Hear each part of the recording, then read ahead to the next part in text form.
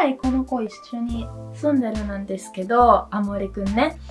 で、変わったことはね、すごく多くて、あの、まずは、なんか、ママの気持ちがなった。すっごくママっぽくてな感じで、カメラも買ったんですよ、部屋を見るためね。で、あの、猫は何してるとか、元気なのか、すっごく心配になって、あ、行きたいの？行きたいの？はい、行って。行ってらっしゃい。で、えーっとですね、なんか、あの、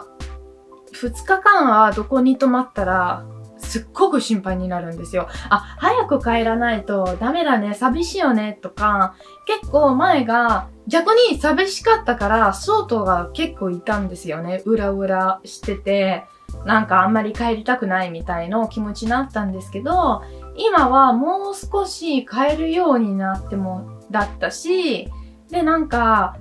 あの、あ、ご飯あげなくちゃいけないね、とか、一緒に、あの、スマホもすごく見る時間がすっごく減ったんですよ。やっぱり前が、ちょっとまあ寂しかったし、ずっと一人だったから、ずっと見てたんですけど、猫ちゃんがいてからね、やっぱりお世話にしなくちゃいけないから、すごく猫ちゃんの気持ちが、あのーなんか心配になってて、で、なんか、ネガティブのことはないんだけど、寝る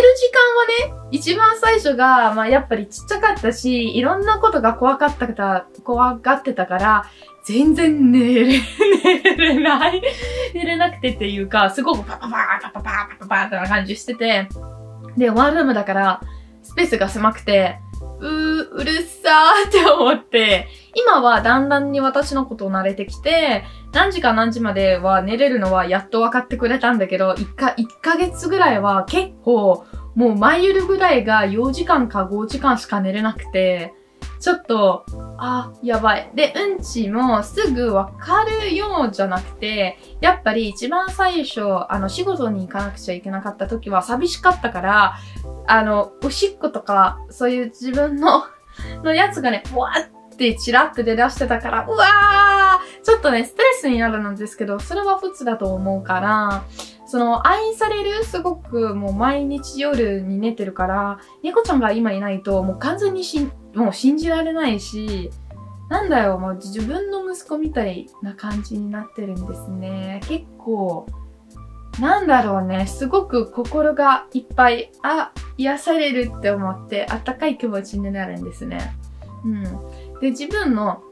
猫が、まあみんな言ってるのは、自分のオーナーさんに似てるって言ってて、あ確かに私に似てる、ちょっとって思ってた。